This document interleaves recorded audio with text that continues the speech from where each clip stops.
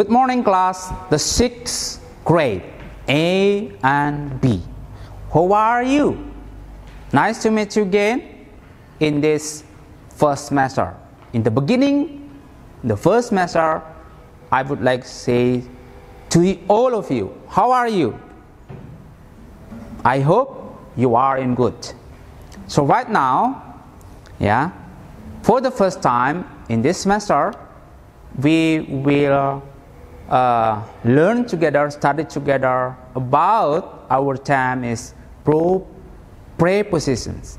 Prepositions ya.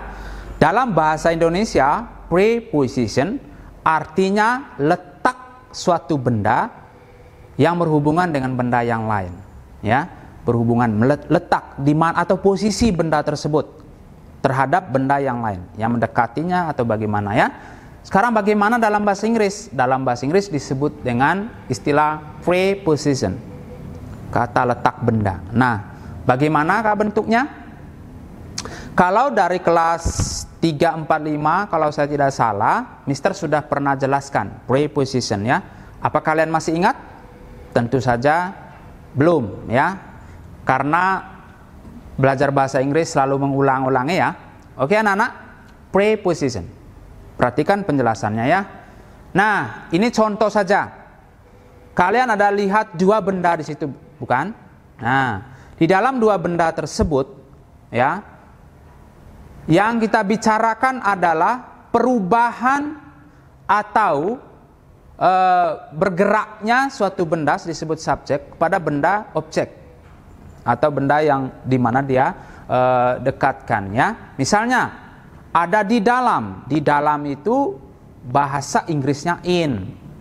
Di dalam berarti benda sebagai subjek itu berada di dalam ruangan. Ya, contohnya itu in.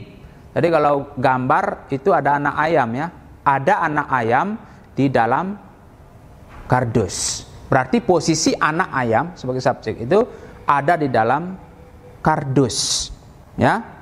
Ya atau there's a chickens in the box. Ya. Lalu yang kedua on. On itu artinya di atas. Ya. Banyak sekali pengertian on di atas. Ya ada above dan sebagainya. Tetapi on khusus di sini adalah jikalau benda sebagai subjek itu tepat berada di atas benda lainnya sebagai objeknya. Jadi saling bersentuhan. Ya. Nah, dalam gambar itu uh, the blue bird is on the box ya. Burung itu berada tepat di atas kardus atau kotak itu. Lalu yang berikut under. Under banyak juga pengertian under ya. Under below down dan seterusnya. Tetapi under khusus di sini adalah uh, di bawah ya. Artinya bahwa benda tersebut tidak terlalu jauh dari benda sebagai objek. Ya, di bawah, mari kita lihat gambar itu. Gambar itu di mana seekor burung itu berada di bawah kotak. Jadi, the blue bird is under the box. The blue bird is under the box. Next, yaitu next to. What is next to? Mean that di sebelah, artinya di sebelah, ya, sejajar. To next to. Contoh kalimatnya itu the blue bird is next to the box. Lalu in front of, in front of, in front of artinya di depan anak-anak.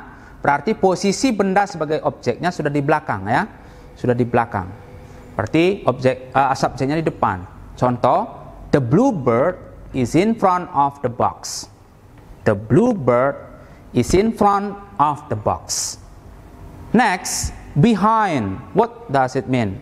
Behind mean is di belakang, ya. Posisi burung itu berada di belakang kotak itu, ya. The bluebird is behind the box. Ya. Next between. Between di sini ada dua.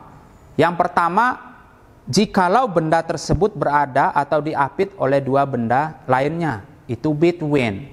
Nah, yang kedua artinya di antara yaitu among dalam bahasa Inggris. Among dalam bahasa Inggris artinya posisi benda sebagai subjek itu berada di antara banyak ya atau di sekitarnya ada banyak benda yang mengapit dia. Nah, kalau di sini yang kita pelajari dulu adalah between, di antara ya. Itu. Lalu around. Around. Around itu di sekitar, mengelilingi ya seperti gambar itu ya. The blue bird is around the box. Jadi dia memutar keliling. Ya. Lalu true. True itu artinya melalui. Berarti benda sebagai subjek itu dia menerobos benda sebagai objek, ya. Menerobos. True. Ya. Sekarang coba kita bacakan contohnya. Kita bacakan contohnya. First one, the chick is in the box, ya. The blue bird is under the box. The blue bird is on the box. The blue bird is next to the box. The blue bird is in front of the box. The blue bird is behind of the box. The blue bird is between two boxes. Perhatikan di situ ya perbedaannya. Between two boxes. Berarti boxnya itu sudah jamak dua. Jadi boxes, bukan box lagi ya. Kecuali kotaknya atau kardusnya satu box. Tapi kalau sudah jamak atau yang disebut dengan uh, plural, maka tambah is boxes.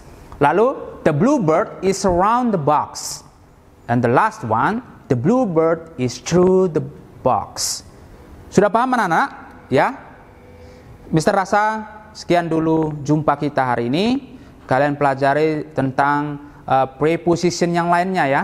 Nah, kalian juga akan pelajari di modul nanti apa yang uh, suruhan situ silakan. Kalian coba dan coba dan coba. So, see you next meeting. Bye bye.